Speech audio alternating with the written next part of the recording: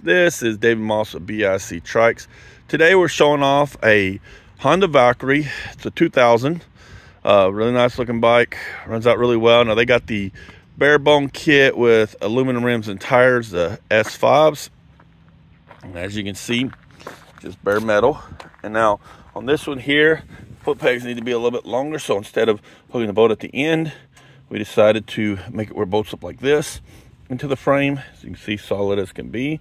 So you just unbolt these two bolts on both ends and then the back end of course where it normally bolts up you unbolt that and it'll come right out from under it. You don't have to take it apart.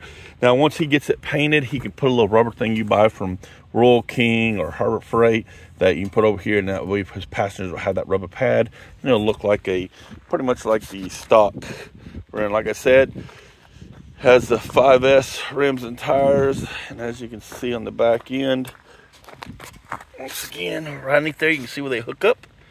And there's two bolts behind those right there that you can get to. And then uh, that's where you unbolt it and it pulls it right out. Really nice looking run riding bike. I like these Valkyries. This one here is really nice because it's the first Valkyrie I've ran that doesn't have the cold colorness that you normally have with them. Starts right up, it's warmed up in a couple seconds and rides out really beautiful. But, uh, you know, it's how they are sometimes. Every bike's a little different. if you like the video, hit like, subscribe. We'd appreciate it. Also, leave us a comment. We always like to hear from you.